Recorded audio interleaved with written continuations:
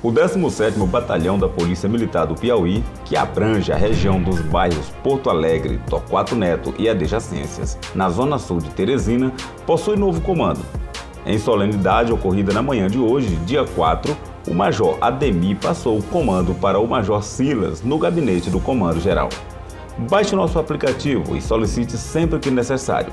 Mais informações no site e nas redes sociais. Avante PMPI.